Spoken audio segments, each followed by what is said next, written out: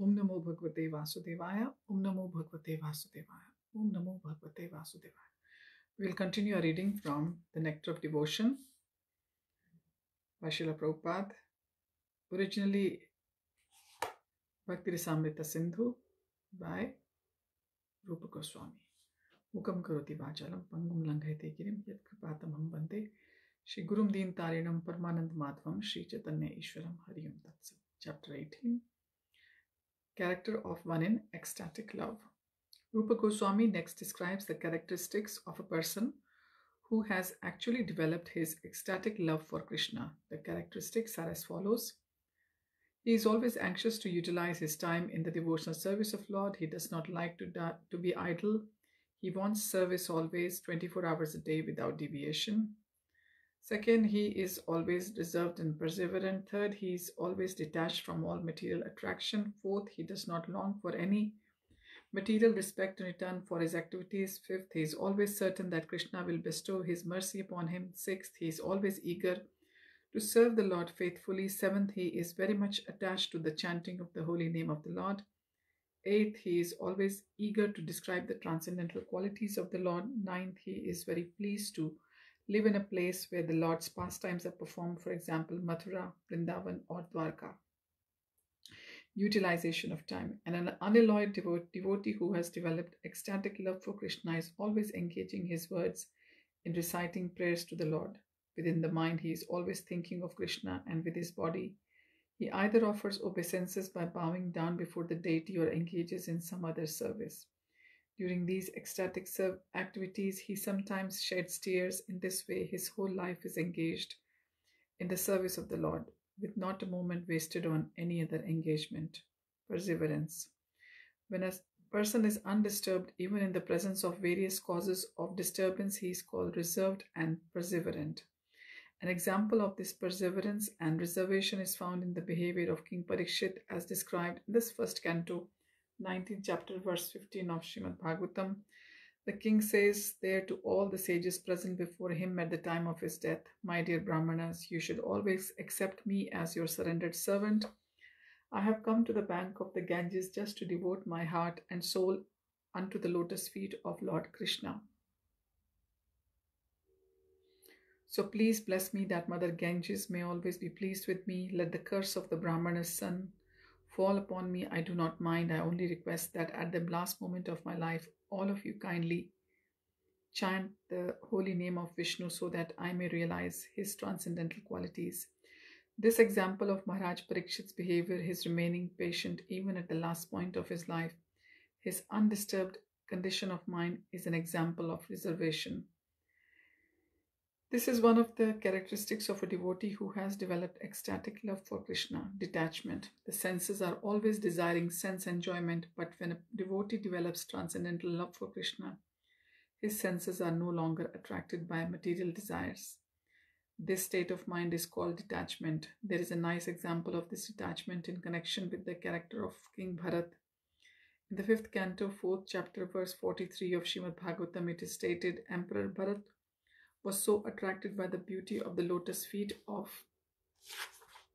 Krishna that even in his youthful life he gave up all kinds of attachment to family, children, friends, kingdom, etc., as though they were untouchable stools. Emperor Bharat provides a typical example of detachment.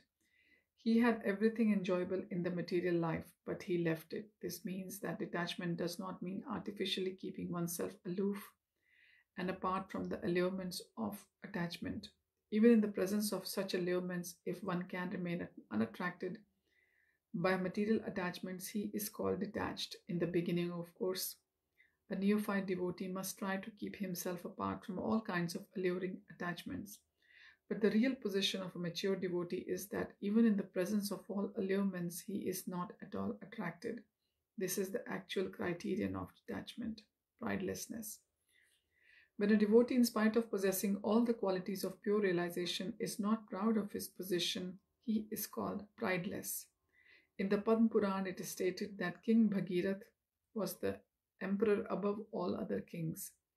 Yet he developed such ecstatic love for Krishna that he became mendicant and went out begging, even to the homes of his political enemies and untouchables. He was so humble that he respectfully bowed down before them. There are many instances in the history of India. Even very recently, about 200 years ago or less, one big landlord known as Lal Babu, a Calcutta landlord holder, became a Vaishnav and lived in Vrindavan. He was also begging from door to door, even at the homes of his political enemies. Begging involves being ready to be insulted by persons to whose home one has come. That is natural, but one has to tolerate such insults for the sake of Krishna. The devotee of Krishna can accept any position in the service of Krishna. Great hope. The strong conviction that one will certainly receive the favor of the Supreme Personality of Godhead is called in Sanskrit Asha Bandh. Asha Bandh means to continue to think because I am trying my best to follow the routine principles of devotional service. I'm sure that I will go back to Godhead, back to home. In this connection, one prayed by Rupa Goswami is sufficient to exemplify this hopefulness. He says, I have no love for Krishna, nor for the causes of developing love for Krishna, namely hearing and chanting and the process of bhakti yoga by which one is always thinking of Krishna and fixing his lotus feet in the heart is also lacking in me. As far as philosophical knowledges or pious works are concerned, I do not see any opportunity for me to execute, execute such activities. But above all, I am not even born of a nice family. Therefore, I must simply pray to you, Gopijan Vallabh Krishna, maintainer and beloved of the gopis, I simply wish and hope that some way or other I may be able to approach your lotus feet, and this hope is giving me pain because I think myself quite incompetent to approach that transcendental goal of life. That the purpose is that under this heading of Asha Bandh, one should continue to hope against hope that some way or other he will be able to approach the lotus feet of the Supreme Lord. Eagerness for achieving the desired success. When one is sufficiently eager to achieve success in devotional service, that eagerness is called samutkantha. This means complete eagerness. Actually, this eagerness is the price for achieving success in Krishna consciousness. Everything has some value, and one has to pay the value before obtaining or possessing it. It is stated in Vedic literature that to purchase the most valuable thing, Krishna consciousness, one has to develop intense eagerness for achieving success. This intense eagerness is very nicely expressed in Bilumangal by Bilmangal Thakur in his book Krishna Karnamrita. He says, I'm eagerly waiting to see the boy of Vrindavan whose bodily beauty is captivating the whole universe, whose eyes are always bounded by black eyebrows and expanded like lotus petals, and who is always eagerly glancing over his devotees and therefore moving slightly here and there. His eyes are always moist, his lips are colored like copper, and through those lips there comes a sound vibration which drives me madder than a mad elephant. I want so much to see him at Vrindavan. Attachment to chanting the holy name of, names of the Lord. In the same Krishna Karnamrita, there is another statement about the chanting of Radharani. It is said by the one of the associates of Radharani, O Lord Govinda, that girl who is the daughter of King Vrishbhanu, is now shedding tears and she is anxiously chanting your holy name, Krishna, Krishna. Eagerness to describe the Lord's transcendental qualities, attachment for chanting the glories of the Lord, is also expressed in the Krishna Karnamrita as follows What shall I do for Krishna who is pleasing beyond all pleasurable conceptions and who is naughtier than all restless boys? The idea of Krishna's beautiful activities is attracting my heart, and I don't know what I can do, attraction for living in a place where Krishna has his pastimes. In the book Padyavali by Rupa Goswami, there is a following statement about Vrindavan. In this place, the son of Maharaj Nand used to live with his father, who was king of all coward men. In this place, Lord Krishna broke the cart in which Shakata demon was concealed. At this place, Damodar, who can cut the knot of our material existence, was tied up by his mother Yashoda. A pure devotee of Lord Krishna resides in the district of Mathura or Vrindavan and visits all the places where Krishna's pastimes were performed. At these sacred places, Krishna displayed his childhood activities with the coward boys and Mother Yashoda. The system of circumambulating all these places is still current among devotees of Lord Krishna, and those coming to Mathura and Vrindavan always feel transcendental pleasure. Actually, if someone goes to Vrindavan, he will immediately feel separation from Krishna, who performed such nice activities when he was present there. Such attraction for remembering Krishna's activities is known as attachment for Krishna. There are impersonalist philosophers and mystics, however, who by a show of devotional service just wanted ultimately to merge into the existence of the Supreme Lord. They sometimes try to imitate a pure devotee sentiment for visiting the holy places where Krishna had his pastimes, but they simply have a view of salvation, and so their activities cannot be considered attachment. It is said by Rupa Goswami that the attachment exhibited by pure devotees for Krishna cannot be possibly be perfected by the hearts of fruitive work- workers, that's the karmis or the mental speculators, because such statements in pure Krishna consciousness is very rare and not possible to achieve even for many liberated persons. As stated in Bhagavad Gita, liberation from material contamination is the stage at which devotional service can be achieved. For instance, who simply wants to have liberation and to merge into the impersonal Brahmajyoti, attachment to Krishna is not possible to acquire. This attachment is very confidentially kept by Krishna and is bestowed only upon pure devotees. Even ordinary devotees can have such pure attachment for Krishna. Therefore, how is it possible for success to be achieved by persons whose hearts are contaminated by the actions and reactions of fruitive activities and who are entangled by various types of mental speculation? There are many so called devotees who artificially think of Krishna's pastimes known as Ashtakalika Leela. Sometimes one may artificially imitate these, pretending that Krishna is talking with him in front of a boy, or else one may pretend that Radharani and Krishna both have come to join him and are talking about him. Such characteristics are sometimes exhibited by the impersonalist class of men and, and they may captivate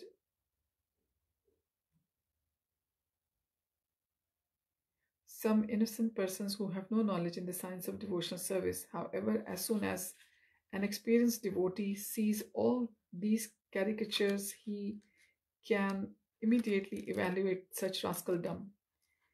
If such a pretender is sometimes seen possessing imitative attachment to Krishna, that will not be accepted as real attachment. It may be said, however, that such attachment gives the pretender hope that he may eventually rise onto the actual platform of pure devotional service. This imitative attachment can be divided into two headings, namely shadow attachment and para or the transcendental attachment. If someone, without undergoing the regulative principles of devotional service or without being guided by a bona fide spiritual master, shows such imitative attachment, this is called shadow attachment. Sometimes it is found that a person actually attached to material enjoyment or salvation has the good fortune to associate with the pure devotees while they are engaged in chanting the holy name of the Lord. By the good grace of the Lord, one may also cooperate and join in the chanting at the same time simply by the association of such pure devotees. The moon-like rays from their heart reflect on him, and by the influence of the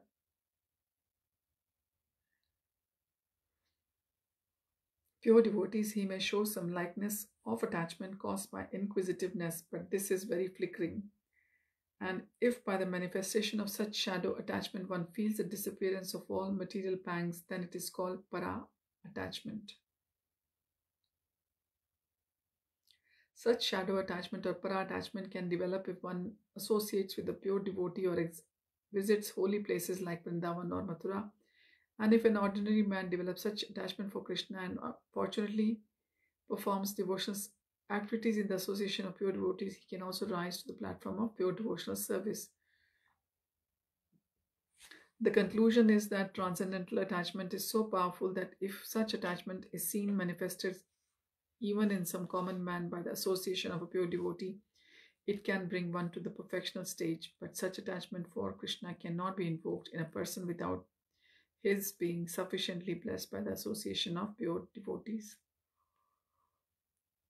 And as attachment can be involved, invoked by the association of pure devotees, so attachment can also be extinguished by offenses committed at the lotus feet of pure devotees. To be more clear, by the association of pure devotees, attachment for Krishna can be aroused, but if one commits offenses at the lotus feet of a devotee, one's shadow attachment or para attachment can be extinguished. This extinguishing is like the waning of the full moon, which gradually decreases and at last becomes dark. One should therefore be very careful with while associating with pure devotees to guard against committing an offense at the lotus feet, transcendental attachment, either shadow or para can be nullified by different degrees of offenses at the lotus feet of pure devotees. Almost nil, and if the offense is not very serious, one's attachment can become second class or third class. If someone becomes attached to the principles of salvation or to merging into the existence of the Brahmajyoti, his ecstasies gradually diminish and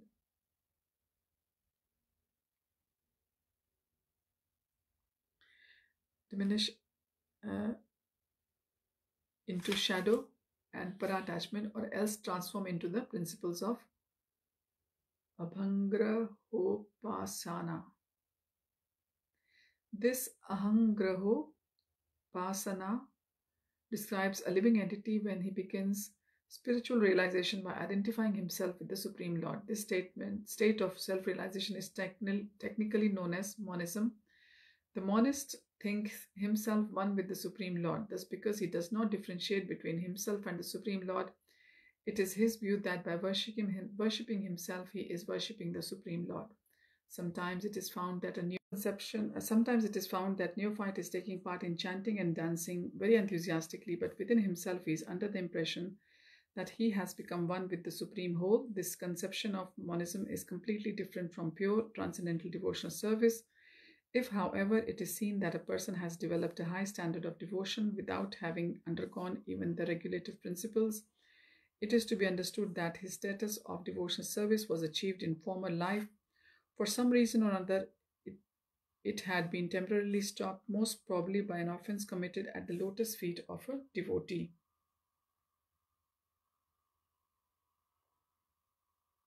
Now, with a good second chance, it has begun again begun to develop, this conclusion is that steady progress in devotional service can be attained only in the association of pure devotees. If one can gradually advance his status in devotional service, this is understood to be due to the causeless mercy of Krishna himself. If a person is completely detached from material enjoyment and has developed pure ecstatic devotion, even if he is sometimes accidentally found not Giving, living up to the standard of devotional service, one should not be envious of him. It is confirmed also in Bhagavad Gita that a devotee who has unflinching faith in the devotion to the Lord, even if sometimes found to be accidentally deviated from pure devotional characteristics, should still be counted among the pure, unflinching faith in devotional service in Lord Krishna and in the spiritual master, makes one highly elevated in the activities of devotional service. In the Nrsimha Puran, it is said, if a person has completely engaged his mind, body, and activities in the service of the Supreme Godhead, but externally is found to be engaged in some abominable activities, these abominable activities will surely be very quickly vanquished by the influence of the staunch devotional force. The example is given that on a full moon there are some spots which may appear to be pockmarks, still the illumination spread by the full moon cannot be checked Similarly, a little fault in the mind midst of volumes of devotional service is not at all to be counted as a fault. Attachment for Krishna is transcendental bliss. Amid unlimited volumes of transcendental bliss, a spot of some material defect cannot act in any way. Chapter 19 Devotional Service in Pure Love of God. When one's desire to love Krishna in one's particular relationship becomes intensified, this is known as pure love of Godhead. In the beginning, a devotee is engaged in the regulative principles of devotional service by the law order of his spiritual master, when one thereby becomes completely purified of all material contamination, there develops an attachment and taste for devotional service. This taste and attachment, when gradually intensified in the course of time, becomes love. The word love can be actually applied only in relationship with the personality of Godhead. In the material world, love is not applicable at all. What goes on under the name of love in the material world is nothing but lust. There is a gulf of difference between love and lust, like the difference between gold and iron. In the Narad Pancharatra, it is clearly stated that when lust is completely transferred to the Supreme Godhead and the concept of kinship is completely reposed in Him, such is accepted as pure love of God. By great authorities like Bhishma, Prahlad, Uddhav, and Narad. Great authorities like Bhishma have explained that love of Godhead means completely giving up all so called love for any other person. According to Bhishma, love means is reposing one's affection completely upon one person, withdrawing all affinities for any other person. This pure love can be transferred to the Supreme Personality of Godhead under two conditions out of ecstasy and out of the causeless mercy of the Supreme Personality of Godhead Himself. Ecstasy. Ecstatic love of Godhead can be potently, potently invoked simply by following the rules and regulations of devotional service as they are prescribed in scriptures under the direction of bona fide spiritual master in the 11th canto, 2nd chapter, verse 40 of Shrimad Bhagavatam. This ecstatic love born of the execution of regulative devotional service is explained. A devotee in the course of his executing the regulative principles of devotional service develops his natural Krishna consciousness and being thus softened at the heart he chants and dances like a madman while performing chanting of the holy name of the Lord. He sometimes cries, sometimes talks wildly, sometimes sings, and sometimes without caring for any outsider dances like a madman. In the Padma there is a statement about ecstatic love, born of spontaneous affection. Chandrakanti, and a celebrated fair-faced girl, rigidly observed celibacy in order to obtain Krishna as her husband. She always engaged herself in meditating on the transcendental form of the Lord and always chanted the glories of the Lord. She did not desire to accept anyone else as her husband. She had firmly decided that only Lord would be her husband. The Lord's extraordinary mercy, when a devotee is found to be always associated with the Lord in ecstatic love, it is understood that such a position has been awarded by the Lord Himself out of His causeless extraordinary mercy. An example of such extraordinary mercy is given in the 11th canto, 12th chapter, verse 7 of Shrimad Bhagavatam, wherein Lord Krishna tells Uddhav, The gopis in Vrindavan did not study the Vedas to achieve me nor had they ever been in the holy places of pilgrimage, nor did they devoutly execute any regulative principle, nor did they undergo any kind of austerity. It is simply by my association that they have attained the highest perfection of the devotional service from the example of Chandrakanti as found in Padma and from the example of gopis as found in Shrimad Bhagavatam, it appears that a devotee who always thinks of Krishna and who always chants his glories in ecstatic love, regardless of his condition, will attain the highest perfection of unalloyed devotions, love due to Lord Krishna's extraordinary mercy. This is confirmed in Shrimad Bhagavatam. If a person worships, adores, and loves Hari, the Supreme Lord, he should be understood to have finished all kinds of austerities, penances, and Similar processes for self realization, on the other hand, if after undergoing all types of austerities, penances, and mystic yoga practices, one does not develop such love for Hari, then all his performances are to be considered as a useless waste of time. If someone always sees Krishna inside and out, then it is said to be understood that he has surpassed all austerities and penances for self realization and if after executing all kinds of penances and austerities one cannot see Krishna inside and outside, then he has executed his performances uselessly. Spontaneous attraction to Krishna, which is said to be due to the extraordinary mercy of the Lord, can be placed under two headings. One is profound veneration of the greatness of the Lord, and the other is one's being automatically attracted to Krishna without any extraneous consideration. In the Narad Pancharatra, it is said that if on account of profound veneration for the greatness of the Supreme Lord, one attains a great affection and steady love for him, one is certainly assured of attaining the four kinds of Vaishnava liberation, namely achieving the same bodily features as the Lord, achieving the same opulences as the Lord, dwelling on the planet where the Lord is residing, and attaining eternal association with the Lord. The Vaishnava liberation is completely different from the Mayavad liberation, which is simply a matter of being merged into the effulgence of the Lord. In the Narad Pancharatra, Pure unalloyed devotional service is explained as being without any motive for personal benefit. If a devotee is continuously in love with the Lord Krishna and his mind is always fixed upon him, that devotional attitude will prove to be only means of attracting the attention of the Lord. In other words, a Vaishnava who is incessantly thinking of the form of the Lord is to be known as a pure Vaishnava. Generally, a devotee who has achieved the causeless mercy of the Lord on account of following the strict rules and regulations of devotional service becomes attracted by the supreme greatness of the Lord, by the transcendental beauty of the Lord, and by the spontaneous execution of devotional service. To be more clear, by executing the regulative principles of devotional service, one can fully appreciate the transcendental beauty of the Lord In any case, such exalted positions are possible only by the extraordinary mercy of the Lord upon the devotees. Association with the pure devotees, although many different processes for developing love of Godhead have been explained so far, Srila Rupa Goswami now gives us the general description of how one can best achieve such high position. The beginning of ecstatic love of Godhead is basically faith.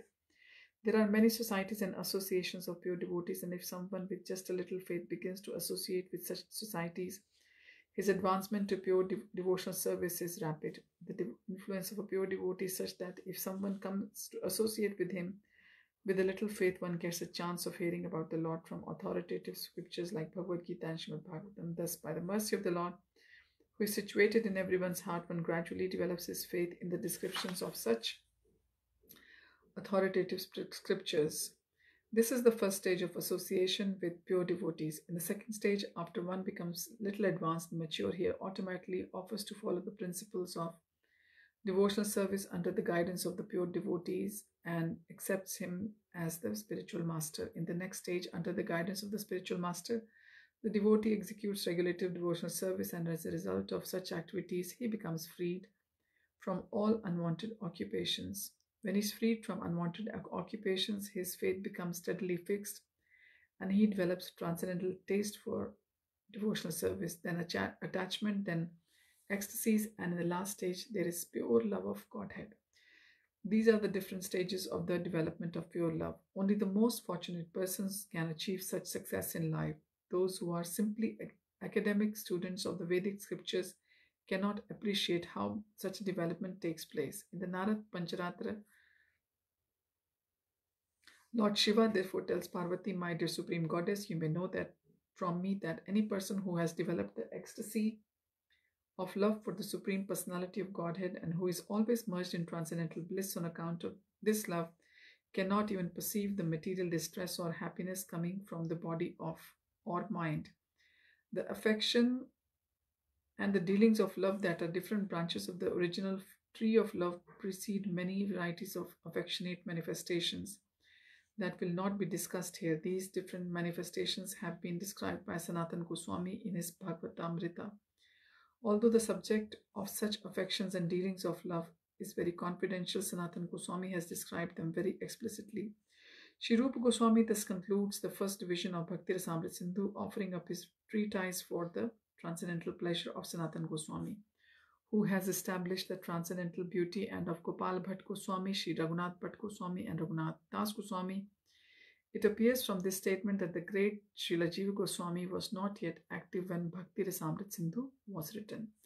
Thus ends the Bhaktivedanta summary study of the first division of Bhakti Rasamrit Sindhu up to the descriptions of ecstatic love of Godhead, which are to follow next. Next time we'll start reading from the part 2, the Nectar of Devotion. Thank you for joining. Hare Tatsat. Hare Krishna.